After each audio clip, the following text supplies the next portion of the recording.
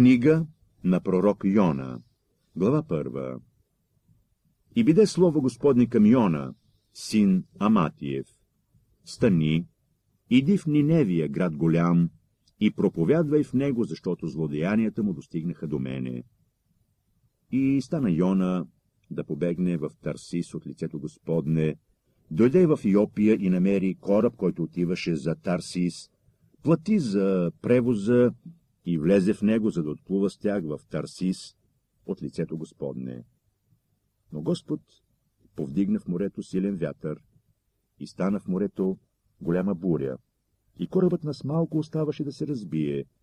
Оплашиха се корабниците, те викаха всеки към своя бог и почнаха да хвърлят в морето товара от кораба, за да му олекне от него. А Йона бе слязал в дъното на кораба, бе легнал и дълбоко заспал. Дойде при него началникът на кораба и му рече, защо спиш? Стани извикай към твоя бог.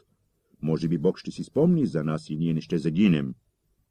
И рекох един други му, нека хвърлим жребие, за да узнаем, за кого ни постига тая беда. Хвърлиха жребие и жребието се падна на Йона. Тогава му рекоха, кажи ни, за кого ни постигна тая беда? Какво е твоето занятие и оде идваш ти? Де е твоята земя и от кой народ си? Той им рече, аз съм евреин, почитам Господа, Бога на небесата, който направи морето и сушата. Тогава човеците се оплашиха. Твърде много се оплашиха и му рекоха. Защо направи това? Защото те узнаха, че той бяга от лицето Господне, както той сам им бе обадил. И рекоха му, какво да направим с тебе, за да отихне морето за нас? Защото морето все се вълнуваше. Тогава той им рече, вземете ме и ме хвърлете в морето. И морето ще отихне за вас, защото знам, че заради мене ви постигна тая голяма буря. Ала тия човеци почнаха да гребат усърдно, за да стигнат на суша, но не можаха, защото морето все повече вилнееше против тях. Тогава извикаха към Господа и рекоха, Молим те, Господи, да не загинем поради душата на този човек и да не ни зачетеш невинна кръв, защото ти, Господи, си направил, което е тебе угодно. И взеха Йона, те го хвърлиха в морето и отихна морето от своята ярост. И тия човеци се оплашиха от Господа твърде много, принесоха жертви Господу и дадоха оброци. Глава втора И заповеда Господ на един голям кит да глътне Йона, и биде Йона в отробата на този кит три дни и три нощи.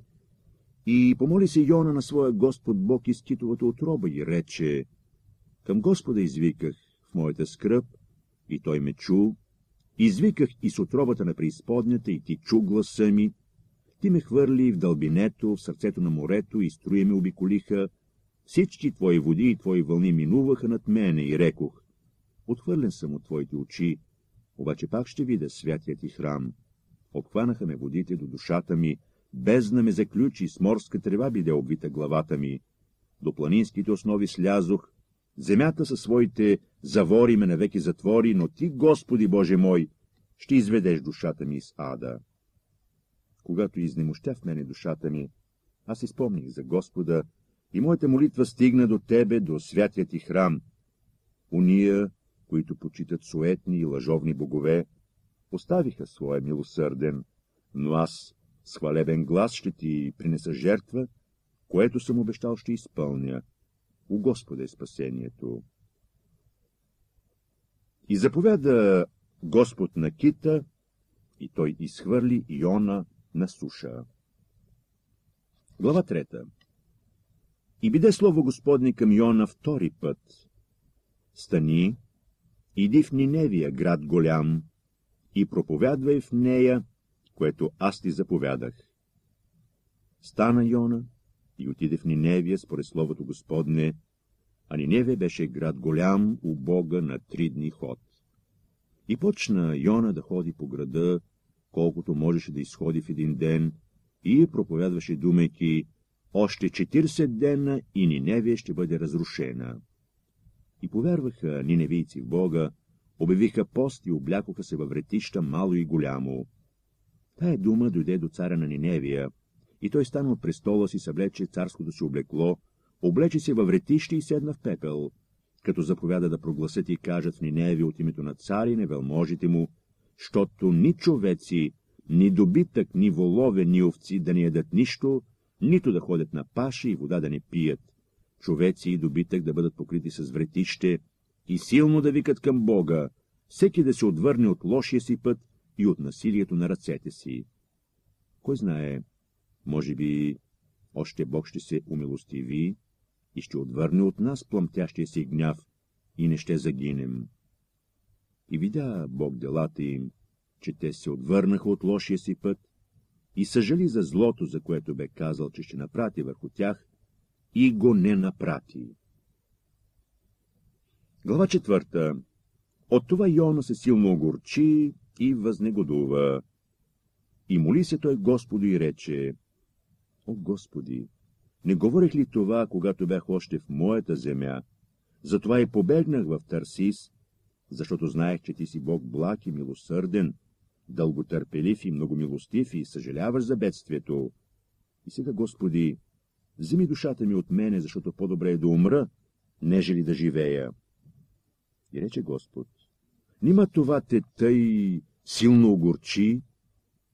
И излезе Йона из града, седна на изток от града, направи си там сенница и седна под нея на сянка, за да види какво ще стане с града. И направи Господ Бог да израсна растение, и то се издигна над Йона, за да има над главата му сянка и да го избави от огорчението му. Йона твърде много се зарадва на това растение и нареди Бог тъй, че на другия ден, кога се зазори, червей подгриза растението и то засъхна, а кога изгря слънце, напрати Бог горещ източен вятър, и слънцето почна да препича главата на Йона, тъй, че той изнемогни и се молеше да умре, казвайки, по-добре да умра, нежели да живея. И рече Бог на Йона, нимата и силно се огорчи за растението.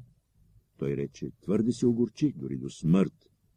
Тогава Господ рече, тебе ти е жал за растението, за което не си се трудил и което не си отглеждал, което в една нощ израсна и в една нощ пропадна. Аз ли да не пожаля ни Невия, той е голям град, в който има повече от 120 000 души, които не могат да различат дясна ръка от лява, и много добитък,